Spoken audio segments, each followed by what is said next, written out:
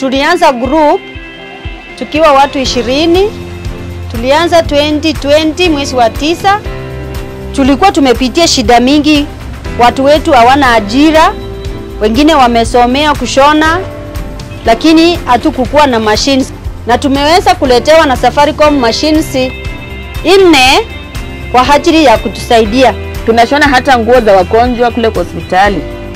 Kwa hivyo tumefurahia sana Safaricom, maana imetufanya tuweze kupiga hatua.